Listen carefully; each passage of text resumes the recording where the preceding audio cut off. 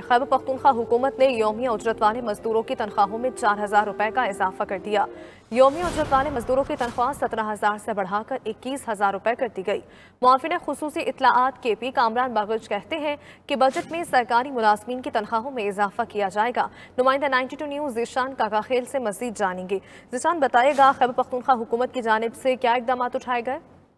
जी, बिल्कुल मौजूदा महँगाई की सूरत हाल को देखते हुए वजी अला खबर पख्तनख्वा ने बड़ा फैसला किया है और जो योमिया मजदूर है, उनकी उजरत में चार हज़ार रुपये इजाफा का, इजाफे का फैसला कर लिया है और बाकायदा तौर पर बताया कि इस फैसले पर सख्ती से अमल दरामद किया जाएगा। ऐसे तमाम मजदूर जो योमिया बुनियादों पर काम करते हैं और उनकी उजरत सत्रह हज़ार रुपये मुकर की गई है, उसको बढ़ाकर इक्कीस हज़ार रुपये कर दिया गया साथ ही साथ में कमरान मंगश जो मुशीरी उमाउन खसूसी बर है, उन्होंने खुशखबरी सुना दी तमाम सरकारी मुलाजमीन को कि इस आने वाले बजट में खसूसी तौर पर उनका ख्याल रखा जाएगा और उनकी जो अलाउंसेज है उसमें इजाफा कर दिया जाएगा।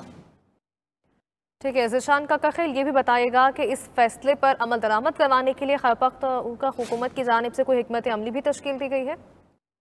जी अरूबा जो ले, लेबर एक्ट है उसके मुताबिक सत्रह हज़ार रुपये योमिया मजदूर की मुकर की गई है। इस बार जो है वजी अला ने इसको बढ़ाकर इक्कीस हज़ार रुपये कर दिया गया है और वजी अला खबर पख्तनख्वा के मुताबिक बाकायदा तौर पर मुनज़म जो है मुनज़म तरतीब दी गई है। एक मुनज़म तरीके से इसमें इजाफा किया जाएगा और बाकायदा तौर पर चेक एंड बैलेंस रखा जाएगा। ऐसे मकाम जहाँ पर कोई शिकायत हो कि योमिया मजदूर की जो उजरत है वो नहीं बढ़ाई जा रही तो उनके खिलाफ बाकायदा तौर पर कानून के मुताबिक कार्रवाई की जाएगी और पहले मरहले में उनको कन्विंस किया जाएगा कि इस जो महँगाई की सूरत हाल है।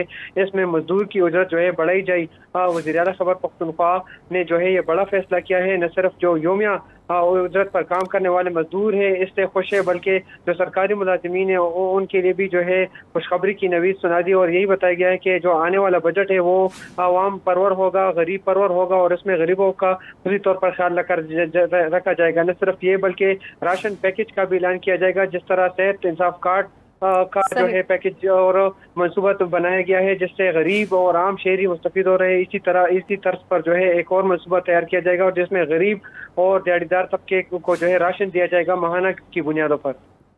बहुत शुक्रिया जिशान का खेल तफसी आगाह कर रहे थे।